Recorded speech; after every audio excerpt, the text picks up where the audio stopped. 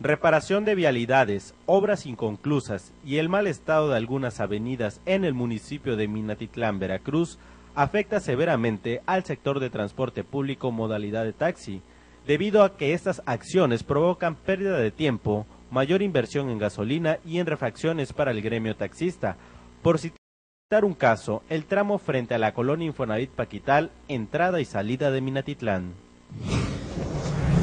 hay varias vialidades, varias este, arterias que realmente son de desahogo para la vialidad y eso, no, eso nos afecta a nosotros bastante, nosotros andamos con el factor tiempo, ¿no?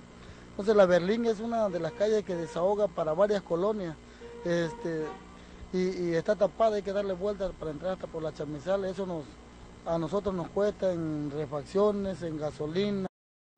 que está muy alta, y, dar, y la pérdida de tiempo, porque también vemos aquí a la entrada de la, de la Infonavit, que hay unos hoyancos tremendos. O sea, yo sé que las lluvias han estado afectando las calles, pero sí buscar la manera de, echarle un poquito de revestimiento, de algo, porque la verdad se hace un cuello de botella tremendo y lo volvemos a decir, si Dios no lo quisiera hubiera una contingencia por donde, por donde saldrían las unidades, no habría vía de escape, ¿no? Por otra parte, el entrevistado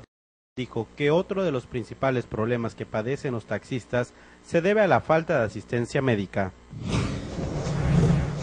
Hay compañeros que desafortunadamente han fallecido por el cáncer, por varias situaciones y no hay, si no nos unimos nosotros a apoyarlos, pues créanme que no hay ninguna institución de gobierno que nos apoye. Entonces sí queremos alguna casa de asistencia médica para los transportistas y también queremos pues que se vea algo sobre la gasolina porque eso nos está matando. Yo creo que no nada más al gremio de transportistas, sino también este, a todo, a toda la ciudadanía en general, ¿no?